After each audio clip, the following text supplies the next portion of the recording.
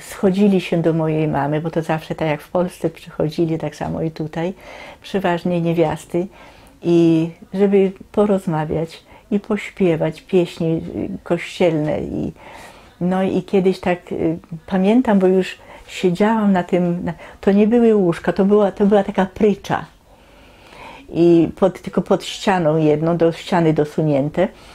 I tego, i tam y, ja już tam byłam w łóżku i pamiętam, jak te y, panie śpiewały i dosyć głośno śpiewały, a okno było zaraz, jak drzwi były tutaj wejście do, do, do domu, to okno było zaraz obok. I oni słyszeli, ci wojsko, bo tam oni chodzili cały czas i tylko patrzyli, czy ktoś nie ucieka, prawda, bo to było wszystko pod, y, pod kontrolą. I tego, i oni jak usłyszeli, że śpiew, jakiś tam śpiew i tam jakiś te, i to w swoim języku, zaczęli walić w drzwi, weszli do domu i powiedzieli, co wy śpiewacie? Mówi, co wy tutaj robicie?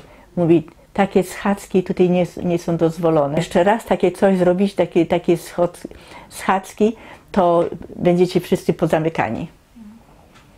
No i, i a jeszcze pozabierali, pozabierali różańce, pozabierali y, y, te książeczki modlitewne.